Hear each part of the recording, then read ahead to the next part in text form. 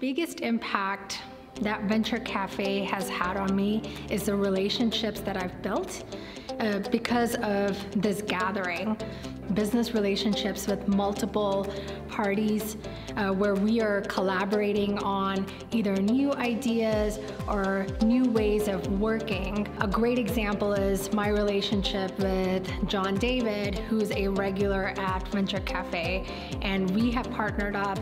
It's because of this forum that we've built and strengthened that relationship that's allowed us to get to know each other even at a much deeper uh, level.